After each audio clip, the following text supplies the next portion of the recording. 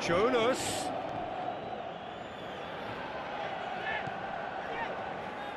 This defence just doesn't trust itself to, to play a higher line. Frighten the people getting in behind. Yeah, absolutely. It just opens up the opportunity of not only strikers getting behind, but the runners from... He's gone for it!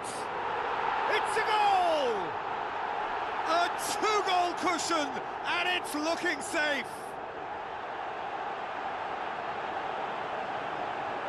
That's always a great sight, you know, on a football pitch. Nimble-footed, showed great balance and a really cool head to finish. And that kind of dribbling is really smart.